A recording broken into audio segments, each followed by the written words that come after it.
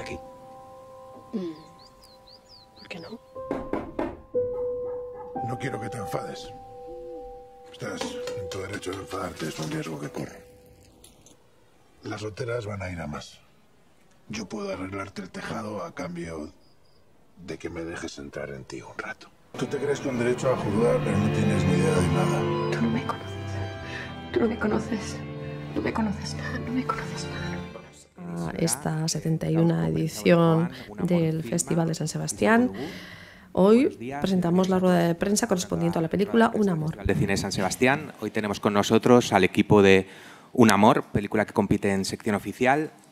Y tenemos, empezando por allí, a Sandra Hermida y Marisa Fernández Armenteros, productoras, a Hugo Silva, actor, Luis Bermejo, actor, Laia Costa, actriz, Isabel Coixet, directora y guionista, Jovic Euskerian, actor, Ingrid García Johnson, actriz, Francesco Carril, actor, y yo. Eh,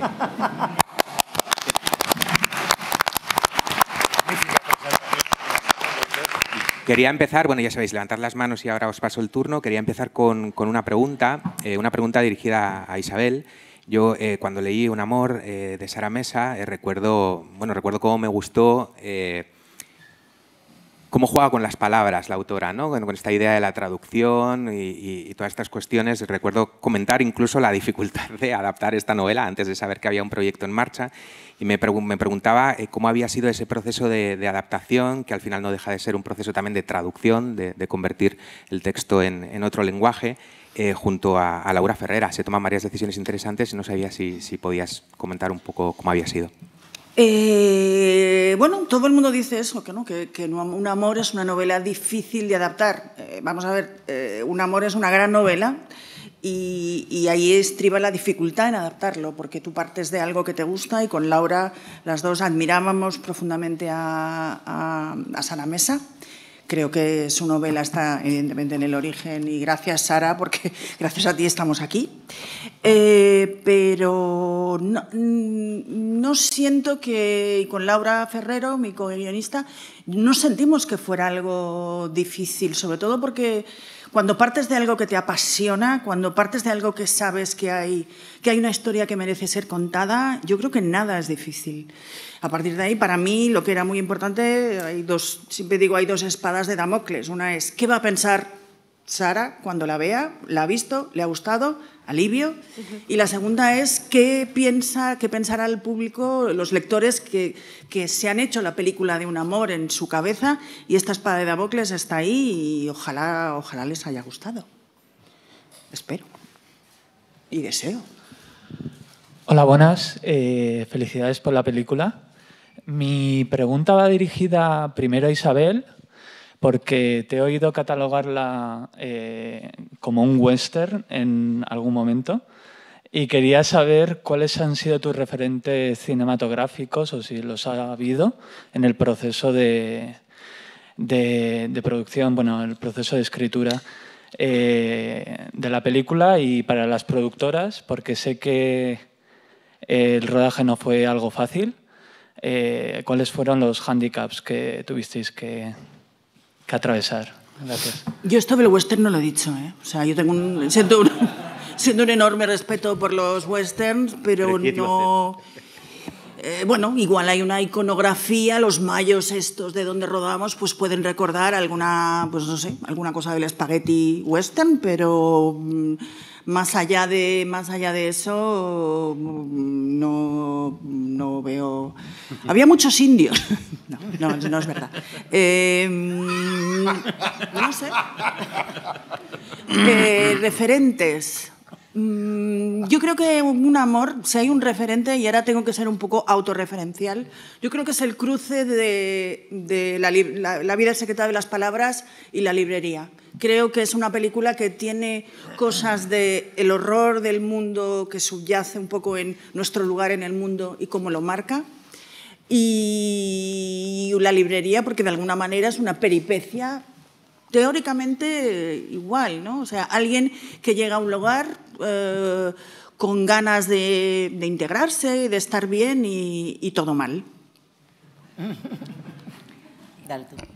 Bueno, respecto al, al, rodaje, la verdad es que el rodaje fue una delicia porque tuvimos la suerte de estar en La Rioja y, todos los días nos traían o rosquillas o, o, pan. El primer día nos, nos, hicieron un pan que se llama Un Amor.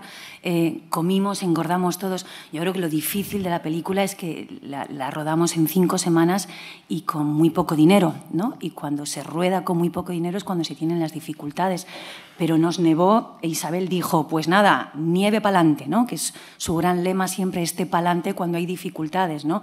que la casa, la pared se nos caía, pues, pues pa'lante también, ¿no? integramos esa, esa pared caída, pero creo que ha sido uno de esos rodajes en donde afortunadamente el espíritu del equipo era tan bueno que las catalanas terminaron organizando una calzotada con los riojanos haciendo patatas a la riojana, ¿no? Esas cosas no siempre suceden en los rodajes, pero rodar con poco tiempo y pedirle a Isabel Coiset que solo tenemos cinco semanas eh, no siempre es fácil, pero afortunadamente ella eh, lo, ha hecho fácil y no presume de, lo heroico, ¿no? y eso está muy bien. Hola, estoy aquí. Eh, tengo una pregunta sobre la última escena de la película, pero hay equipos que no están cómodos hablando del final de la película por spoilers. ¿Os puedo hacer una pregunta sobre la última escena? Tengo dos interpretaciones en la cabeza y no sé cuál es la correcta. Y esta es la única oportunidad que tengo de saberlo, porque la película la has hecho tú, Isabel. Em, cuando termina la película, eh, vemos a la protagonista que se reencuentra con su perro. Un perro que yo creía que se había muerto ya. Entonces, ¿están los dos escapando o están los dos muertos? Pues yo creo que tiene razón. Creo que... Eh, otra vez vuelvo a ser autorreferencial, pero a una mujer de edad provecta como yo se le permite. En una de mis películas algún personaje dice, entenderlo todo hace la mente perezosa y no queremos mentes perezosas.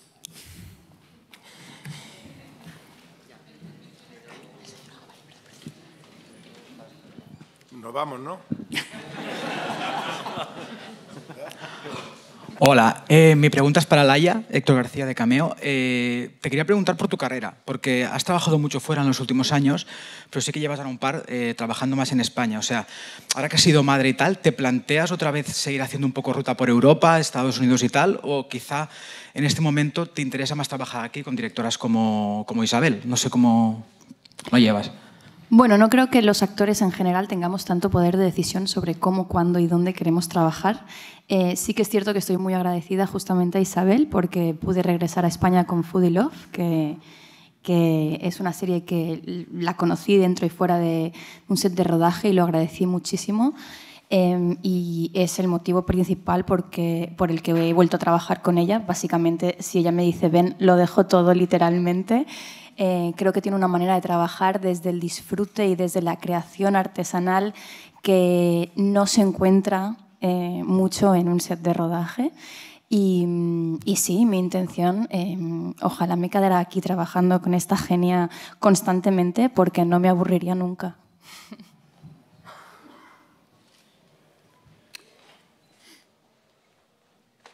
Hola, muy buenas. Lo primero de todo, felicidades por la película. Y yo quería preguntar eh, cómo ha sido en una película como esta trabajar con una figura como es la de coordinadora de intimidad, que está surgiendo mucho ahora en, la industria del cine. Imagino que en una película como esta es, es bastante importante para todo el equipo de la película.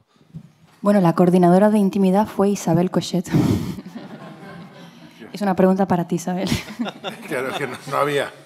Yo creo que cada director tiene que encontrar, y todos los actores tienen que encontrar su manera de trabajar. Mm, eh, yo sé que hay muchos directores, no sé, yo soy operadora de mis películas, sé que otros directores no lo son. Creo que cada uno encontramos nuestro camino a hacer las cosas. En el caso de la intimidad, si hay un terreno que yo conozco es la intimidad. Y evidentemente yo les dije a ellos, eh, ¿os parece, necesitamos esta figura? Dijeron que no, tuvimos una conversación de adultos y sobre todo hay algo que me parece que también es el deber de un director. Eh, pues, repito, si hay otros directores que encuentran que no se sienten cómodos con eso, pues quizá no deberían escribir escenas de sexo. Pero yo cuando escribo una escena de sexo, yo me imagino, la veo, y pido a mis actores eh, que hagan lo que, mm, eh, que me digan también los problemas que tienen y a partir de ahí pues, pues la armamos, ¿no? Pero mm, en mi caso, pues no, no. También tengo que decir que, que he hablado con, eh, no sé, el año pasado me acuerdo, hablé con Mia Hansen Love y me preguntó, ¿qué piensas esto de la coordenada de intimidad? Digo, bueno, en mi caso yo no lo necesito. Y me dijo, tampoco, pero bueno, si hay otros directores, pues adelante. Hay una cosa que quiero decir y que, antes que, que, que seguro que tenéis preguntas y mm, tengo que decir que mis opciones para todos los actores que están aquí fueron mis primeras opciones. Yo me imaginé mm, a Nat como Laia, aunque en la novela de Sara Mesa el personaje de, de, Andreas está definido de una manera muy diferente, yo siempre veo a Jovic, gracias a, a, la serie de Sorogoyen eh, Antidisturbios, mmm, y cuando hablamos, hablamos de, de, eso. Siempre quise trabajar con Ingrid García Johnson, que me parece atómica, y había conocido a Hugo Silva hace muchos años en un pueblo, Ansó, en Huesca, y le dije, algún día curraremos juntos. Él me miró diciendo, bueno, os lo decís todos, pero me parece, me parece que hace un, personaje además que amas odiar en la película. Y en el caso de Francesco Carril y Luis Bermejo, solo les había visto en el teatro y me habían parecido fascinantes. O sea, todos han sido realmente, yo creo que es un elenco soñado. Eh, también pasando por los dos actores de La Rioja que interpretan a la pareja, eh, por el perro, que, que, amo a ese perro, mm, perra o perra, no sé, lo amo. Eh, Eva Cabezas, que hace de veterinaria, los guardias civiles que hacen de guardia civiles, que lo hicieron extraordinariamente bien, aunque estaban más nerviosos que nadie. Y quería, quería decir que, que realmente cuando, cuando cada actor es, se transforma en ese personaje, el papel de un director es relajarse, disfrutar y, y empujarles. Ya está. Vale. No sé si por alusiones a alguno de los actores le apetece comentar algo sobre el proceso de, de la película. Hemos estado muy a gusto. Muy Todo se resumiría en eso. Hola, buenos días. Enhorabuena por la peli a todos.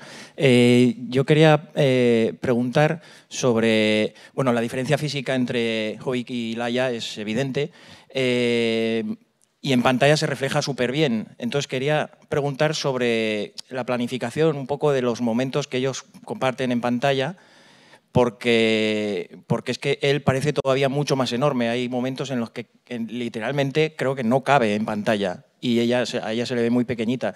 Entonces, eh, ¿cómo, es ese, ¿cómo fue esa planificación de esos momentos? Y luego quería aprovechar para preguntar por una frase maravillosa que, que por lo menos en el pase de ayer desató aplausos en medio de la película, eh, que fue un alivio genial. Uh, que era la frase de las monjas y las putas. Eh, no, sé, no he leído la, la, novela de Sara Mesa, entonces no sé si está ahí, eh, cómo fue incluida en el guion. Muchas gracias. Es una frase que no, esa escena justamente no está en la, en la novela, pero he soñado toda mi vida con poner esa frase en una película. Y ese momento de la señora que fuma con Nat, pensé, este es el momento, ¿no? Porque además ella tiene obsesión con las monjas, que es una de mis obsesiones. Yo nunca he ido a un colegio de monjas ni religioso. Para mí las monjas son seres extraños con extraños trajes y siempre he querido poner esa frase. La planificación, la película, como veis, tiene un formato que es la primera vez que utilizo este formato, un formato casi cuadrado. Para mí la dificultad ha sido no encuadrar a, a, sino encuadrar toda la película pero yo creo que eso me ha, forzado a realmente cuidar de una manera sagrada el encuadre ¿no? y darme cuenta realmente de la fuerza de lo que está fuera del encuadre y fuera de campo pero no, no tiene una especial dificultad. Hay una escena, es verdad, cuando él está rascando eh, las goteras, el, el, el, tal, que sí que, que, hay un homenaje explícito a una de mis fotógrafas de cabecera, que es Diane Arbus, y es la fotografía del, del gigante y los padres, que, que, yo la veía, ¿no? Estaba encuadrando aquello y pensaba, es el gigante y los padres, pero, pero no tenía una especial dificultad. Gracias. Eh, la verdad que mmm, la película me ha parecido bastante gratificante dentro de que juega un poco a, a, crear una sensación de incomodidad todo el rato, pero también con cierto encanto. Y creo que en lo técnico y lo artístico la película luz impecable, pero uno de sus factores principales es el reparto y aprovechando que está aquí gran parte de él, que tú bien lo has recogido, quería saber sobre todo cuál ha sido el reto para la mayoría de vosotros, quizás no tanto para Laia, pero en el sentido de, porque son personajes muy odiosos, cómo ha sido el reto de meter en ese tipo de personajes. Porque, por ejemplo, eh, Luis y Jovic creo que eran personajes tan, tan, tan, tan difíciles meteros en esa visión de un hombre tan, tan machista o tan ido con matices quizá, pero quería saber cuál ha sido el reto de meteros en personajes tan difíciles de tratar. No te creas, ¿eh? hay muchos así. Eh, bueno, muchas gracias. Y, o sea, por mi parte el reto era eh, habitar la crueldad que, que, este mm, tipo y que supongo que yo también tengo y que... No, tú eres bueno, Luis, tú eres bueno. Bueno, no, creo que todos tenemos, todos los que estamos aquí, todos tenemos un, un lado cruel, bondadoso y también, eh, y también lleno de, de, oscuridades y, sombras. Y ese era el reto, básicamente. Yo quería, eh, o sea, primero me dan esta oportunidad, que es eh, de verdad que yo con esta cara ¿no? y, con, y con este halo de, de, bondad que me caracteriza, pues pues nunca, nunca me dieron la posibilidad de hacer un hombre con estas, un tipo, un personaje con estas características quería agradecer también que, me, que dierais esta oportunidad. Gracias Marisa, gracias Isabel y gracias al resto del equipo. Y, y bueno, eso, como habitarlo, intentar, intentar jugar con, con propiedad a ser esa, esa sombra, esa crueldad. Es que no sé cómo, no sé si te contesto a lo que me pregunto. ¿Cuál era la pregunta? Pero la pregunta? Yo no veo que el personaje de, de, Andrea sea el mal para nada, ¿no? Es que a mí me parece de los más honestos, ¿no? Por alusiones, por alusiones. Gracias, Joyce. Gracias. Eh, ¿Cómo es tu nombre? Juan Carlos. Estoy de acuerdo con Laia, hay muchos. No me voy a meter en los personajes de Hugo, ni de Bermejo, ni de Francesco. Eh, es que Andreas no es, no es muy, con alguna pincelada, pero no es muy distinto de, de Jovic, ¿eh? Yo vivo, no, no. Ya, ya, ya, ya, ya, pero Andreas es un tipo que, a diferencia de Nat, eh, ha elegido ese pueblo. Tiene sus 100 metros cuadrados de terreno y su huerto y su puta casa. Y vive ahí. Y lo tiene todo clarito. Ya ha pasado por lo que tenía que pasar, ha tenido una infancia muy jodida, ha visto sufrir a su madre para que él pueda tener un futuro y necesita muy poquito. No molesta a nadie y no quieren que le molesten. Punto. Ya está, te puede caer mejor, te puede caer peor. Es como el al lado. En los alrededores del pueblo hay prostitutas, hay mujeres en el pueblo, está la de la tienda, está la mujer casada, está, bueno, está todo el mundo. Pero aparece Nat que por lo que sea le revuelve algo. No solo una gotera, no, es que ella le revuelve algo. Y como no es un tipo especialmente ducho en expresarse, pues le acaba diciendo la barbaridad de a ver si me dejas entrar dentro de ti un rato. Hola, ¿qué tal? Pero el tío como tío es un tipo absolutamente consecuente, absolutamente honesto y no se mete con nadie. Lo que pasa es que el cruzarse con Nat le descoloca hasta tal punto que lo que acaba pasando es que este tipo muestra su interior de verdad en un solo momento de la película. Pero a mí no me parece ni un tío malo ni un tío bueno, me parece un tipo que vive su vida, que no quiere que le molesten y que intenta no molestar a nadie. Esa es mi opinión. Te lo diré luego cuando vea la película. Yo creo que el mal es, es Peter y... y la pareja del chaletito. O sea, sinceramente. ¿El mal? Totalmente. No entiendo nada. Totalmente. Vamos, para mí lo es. O sea, es el tipo. Bueno, Hugo, si tú lo sabes muy bien. No, a mí me parece repugnante mi personaje. Y así. Sinceramente. O sea, yo si conociera a mi personaje. Eh, qué horror. Eh, pero es que luego, por otro lado, es que es tan divertido hacer un, un cabrón como este. Es maravilloso. O sea. Y de verdad ha sido. Ha sido un, parece un reto, entiendo que lo pueda parecer o lo que sea, pero eh, sinceramente ha, ha sido muy fácil. Jugar eh, eh, todo el rato, probar cosas con muchísima libertad y, y, y, la verdad es que me, me lo he pasado muy bien. Me, creo que ha sido de los personajes que más que más relajado y más tranquilo he estado y más suelto y no ha sido no ha sido tampoco un reto. Ha sido muy divertido de verdad. No juzgar y, y divertirme con este manipulador de mierda. Sinceramente. Muy guay. Pero Lady Macbeth es el personaje de Ingrid. Yo creo que lo más complicado de trabajar con Isabel es eh, la presión que tienes antes de empezar a trabajar con ella, porque todos hemos visto sus películas, su carrera es, para mí es una super heroína. Entonces, estar a la altura de lo que crees que ella te va a pedir, a mí recuerdo que los meses anteriores era mucha presión, más sabiendo además que es una novela que, que la gente ha leído, que ya tiene una idea en la cabeza, ¿no? Y dices tú, ¿cómo se siente mucha responsabilidad? Pero cuando llegamos a set cambió todo, porque Isabel tiene una ligereza y una tranquilidad y una seguridad a la hora de trabajar que se, que se transmite y se contagia. Y de pronto no estábamos trabajando, o sea, estábamos jugando, estábamos pasándolo todos muy bien. Y, mm, y, y ha sido una peli muy fácil cuando a priori sí que parece una peli muy, muy complicada. El rodaje fue fantástico, fue todo bien. Eh, mm, ya, ya digo, para mí lo más duro era la preparación en mi casa, que, no, que me quería morir. Luego, luego ya fue todo muy fácil. Mm. No sé si quieres. Yo, mm, bueno, yo solo añadir que ha sido muy bonito, ha sido la primera vez que he trabajado con una directora que, que lo ha dicho antes Isabel, que operara ¿no? la, cámara y ha sido una sensación muy bonita sentir como que ella estaba con nosotros encima, ¿no? casi viendo la película a la vez que se hacía ¿no? y es una sensación muy bonita. Y luego también recalcar que, que bueno, que, que mm, como esa sensación de cuidado ¿no? en el rodaje, esa sensación de, de respeto, de, de calma, de paciencia, de notar y sentir que hay alguien ahí que te mira con, con cariño, ¿no? que parece algo un poco obvio, pero, pero yo lo viví de una manera muy fuerte ¿no? en este rodaje y, ha sido muy, muy bonito porque eh, te permite trabajar de una manera muy abierta y estar...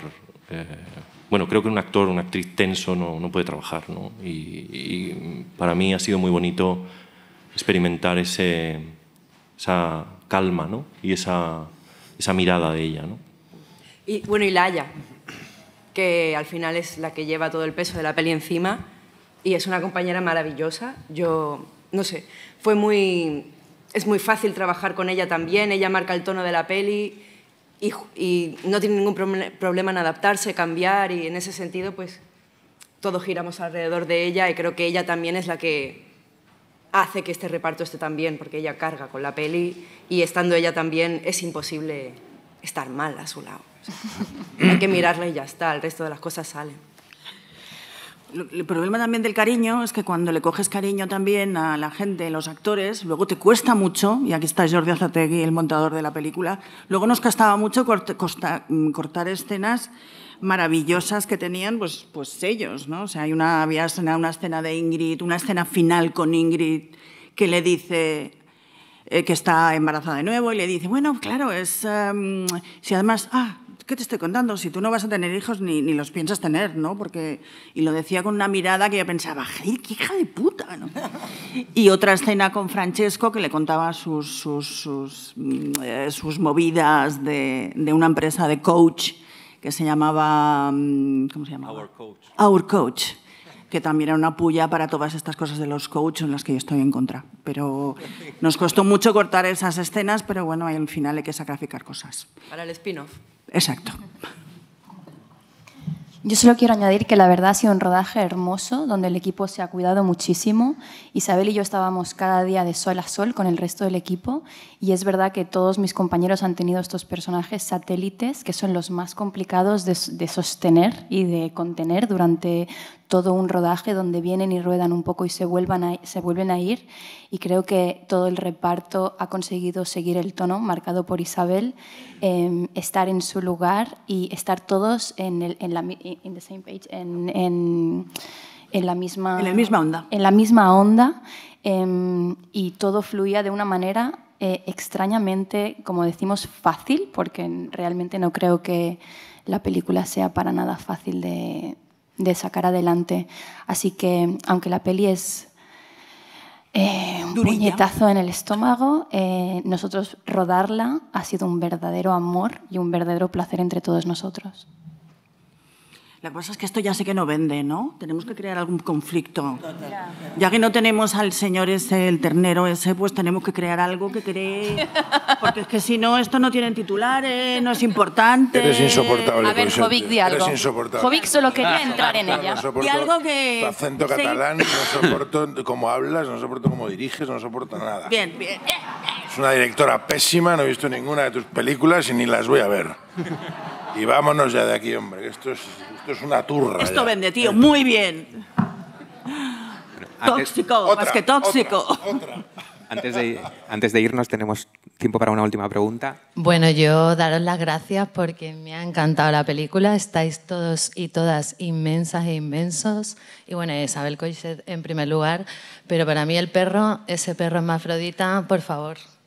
Eh, todos estáis relacionados con el perro de alguna manera u otra y me gustaría sí que Laia, que entiendo que ha sido una relación eh, de acercamiento a, a ese animal que significa el amor realmente, y a Isabel Coixet, ¿cómo ha sido ese proceso?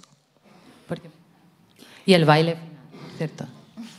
El perro, eh, bueno, hicimos un casting de perros y claro, es que me vino Flor, que se llama así, el perro, y me miró con esa carita de, de, de mm, eh, porque yo, de Calimero, y claro, eh, me enamoré de este perro y luego, pues resulta que, que, bueno, los cuidadores, la familia que lo tiene, digo, no, ¿sabes? Es un perro que es hermafrodita. Y yo, pero ¿hay perros hermafroditas? Y lo incorporamos a la película, pero no era, no era que buscáramos un perro así. Yo ni sabía ni que existían, pero el perro era así, tenía sus, sus cosas, pues dos, dos, un par de cosas. Y era muy gracioso ver cómo los otros perros se acercaban y lo miraban raro. Sí. O sea, es otro outsider en esta jungla de outsiders de la peli. Eh, sí, yo creo que es muy interesante rodar con animales, eh, porque de golpe tienes que jugar un poco. Además, es su primera película, es la primera película de Flor. Y em, creo que ella ya llevaba una dignidad que le iba muy bien al personaje. Em, yo personalmente la veía como un alter ego, un espejo de Nat de alguna manera.